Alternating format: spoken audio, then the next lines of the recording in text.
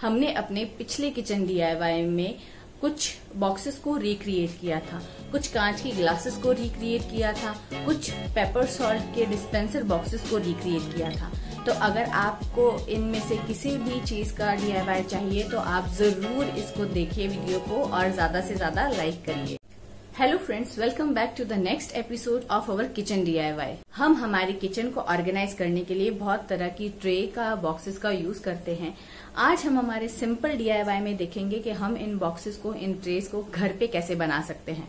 हमें ज़्यादा खर्च नहीं करना पड़ेगा तो इसको ज़रूर देखिए एंड तक ज़रूर देखिएगा, क्योंकि एंड में आपके लिए एक सरप्राइज़ है।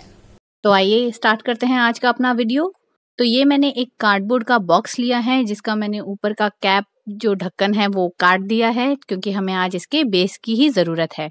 हम बनाने वाले हैं इससे एक ट्रे तो इसके लिए मैंने इसको कवर करने के लिए लिया है ये एक कवर का पीस जो कि मेरे पास लेफ़्ट ओवर था। इससे बनाया था हमने अपना ट्रंक का कवर अगर आपको उसका डीआईवाई चाहिए तो मैं लिंक डिस्क्रिप्शन बॉक्स में दे दूँगी, आप वहाँ से देख सकते हैं। तो इस तरह हम उसको एकदम करेक्ट पीसेस में कट कर लेंगे क्योंकि वो लेफ़्ट ओवर पीस था। तो जो इसमें से अन अनइवन पीसेस हैं, जो एक्स्ट्रा पीसेस हैं, हम उसे कट कर देंगे और जो एकदम सही पीस होंगे, उसे हम यूज़ करेंगे। तो इस तरह से हम अपने इस बॉक्स को कवर कर देंगे, इस लेस की तरफ़ से।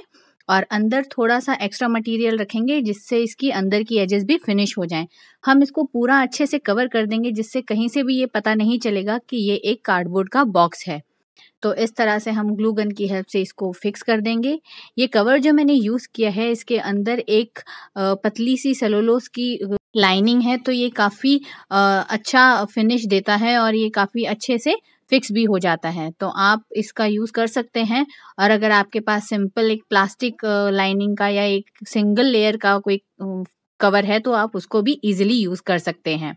अगर आप सिंगल लेयर की प्लास्टिक कवर का यूज़ कर रहे हैं तो ध्यान रखें कि जब आप ग्लू गन का यूज़ करें तो ज़्यादा ग्लू गन यूज़ ना करें क्योंकि प्लास्टिक ग्लू गन से कभी कभी जल भी जाता है। तो इस तरह से हम इसको पूरा बेस कवर कर देंगे और ये पूरी ट्रे हमारी तैयार हो जाएगी। तो ये हमारी ट्रे तैयार है। अब हम इसमें देंगे एक बेस का कवर। तो ये है एक एंटी स्लिप कवर जो अक्सर हम अपनी अलमारियों में लगाते हैं। अपनी कांच की क्रॉकरी के नीचे यूज़ करते हैं ताकि वो स्लिप ना हो। तो इसको मैं इस ट्रे में लगा दूँगी ताकि अगर इस ट्रे में आप कोई भी क्रॉकरी लगाएँ तो वो स्लिप ना हो। तो अब नेक्स्ट हमारा ये आइटम है, ये है एक पेपर नैपकिन होल्डर। ये अक्सर हम किचन में यूज़ करते हैं और अगर आपको भी ऐसा हैंगिंग बनाना है तो आप इजीली बना सकते हैं। इसके लिए मैंने इसके बेस में चार होल कर दिए हैं और उसमें से ये प्लास्टिक की वायर क्रॉस कर रही हूँ।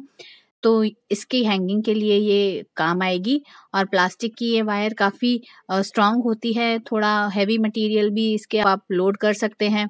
तो इस तरह से मैंने इसको पास थ्रू कर दिया है दोनों होल से और दोनों तरफ़ से मैं इसी तरह करूँगी। और ये अच्छे से हमारी हैंगिंग तैयार हो जाएगी। हम इसके अंदर से जो स्टिक पास करेंगे, उसको हम होल्ड करने के लिए, उसको स्टॉप करने के लिए एक स्टॉपर बनाएँगे।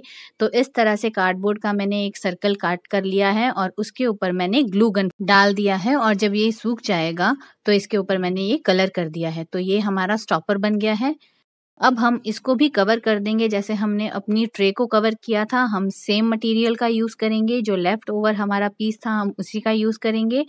तो कवर करने से पहले हम इसमें होल कर देंगे, जहाँ से हमने हमारी वायर डाली है। उन्हीं होल्स को हम वापस से इस कवर से भी कर देंगे और इसमें से अपनी वायर को निकाल लेंगे, ताकि हमारा आगे का काम ईजी हो जाए। तो अभी के लिए ये बहुत ईजी हो जाएगा और ये बहुत इजीली निकल गया है। तो अब इसको हमने कवर कर दिया है और जो होल साइड में से हमने अपनी स्टिक के लिए किया था, उसको भी हमने निकाल दिया है। तो ये हमारा पेपर टॉवल नैपकिन होल्डर कुछ भी कह सकते हैं इसको, ये रेडी हो गया है। तो अब इसके अंदर हम अपना नैपकिन रोल डाल के इंसर्ट करके देखेंगे कि ये कैसे लगता है और ये काम करता भी है या नहीं। तो इस तरह से हम ये स्टॉपर लगा देंगे। अब हम कुछ इंटरेस्टिंग बनाएँगे। तो ये है रसगुल्ले का खाली डब्बा। तो इसको हम डायगनली ऐसे कट कर लेंगे। तो ये कट करने के बाद देखिए दो बॉक्सेस हमारे पास रेडी हैं। तो इसलिए हम पहले एक पार्ट को लेंगे और ये जो ओपनिंग है इसकी, इसको हम सेलो टेप से कवर कर देंगे ताकि अगर हम इसको कुछ बनाएँ तो ये एक बेस की तरह इजीली हम यूज़ कर पाए। तो इस तरह आप इजीली ये सब काम कर सकते हैं। इसको फिनिश करने के लिए पहले मैंने छोटे छोटे पीस लिए हैं उस कवर के और यहाँ मैंने इसकी एजेस को फिनिश कर दिया है और इस तरह से फिनिश करने के बाद मैं जो ये जो लेस का पार्ट है इसको मैं बाद में चिपका दूँगी। ताकि ये एक ओवरऑल एक बहुत सुंदर नैपकिन होल्डर बनके तैयार होगा। हम इसको मल्टीपर्पसली यूज़ कर सकते हैं, हम इसमें कुछ भी रख सकते हैं तो ये बॉक्स हम किचन में भी यूज़ कर सकते हैं, आप अपनी ड्रेसिंग पे भी इसको यूज़ कर सकते हैं। अब हम इसके अंदर से इसको कवर करेंगे तो उसके लिए मैंने इसको मेजर कर लिया है और इसका मेजर करने के बाद मैं इसको अंदर से फिनिश कर दूँगी तो ये बहुत इजीली हमने फिनिश कर दिया है और जो साइड्स हम बची हैं, वहाँ भी हमने इसको फिनिश कर दिया है। अब बारी आती है आज के हमारे सरप्राइज़ की। तो आज का सरप्राइज़ है हमारा टॉयलेट पेपर रोल ये एक बेसिक नेसेसिटी है और अगर आप मार्केट में इनको लेने जाएँगे आप ऑनलाइन इसको ऑर्डर करेंगे तो ये बहुत कॉस्टली आते हैं। मैंने भी पर्सनली बहुत रोल्स देखे थे। प्लस मैं एक रेंटेड अपार्टमेंट में रहती हूँ तो वो टेम्परेरी यूज़ के लिए भी नहीं थे और जो स्टैंडिंग हम होल्डर्स देखते हैं, वो बहुत कॉस्टली होते हैं।